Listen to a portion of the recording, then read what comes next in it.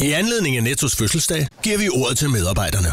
Netto har fødselsdag, det har vi jo, og der i dag. Netto har fødselsdag. Det har vi jo i dag. Og hør nu her, hvordan vi alle troede vil. Og hør nu her, hvordan vi troede det vil.